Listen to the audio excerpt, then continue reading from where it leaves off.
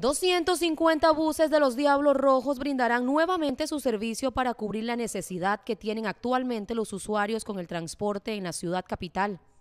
Así lo anunció este martes el presidente de la estación de autobuses de Mano de Piedra, Tomasito López. Con el objetivo de modernizar el sistema de transporte público, las autoridades del país habían sacado de circulación a los tradicionales buses para dar paso al novedoso sistema de transporte Metrobús. Sin embargo, desde el 15 de marzo, día en que entró el funcionamiento el nuevo sistema, los usuarios han manifestado vivir un caos con el transporte público. Las largas filas, las escasas unidades y la poca frecuencia con la que circula el Metrobús han sido las constantes quejas de los usuarios.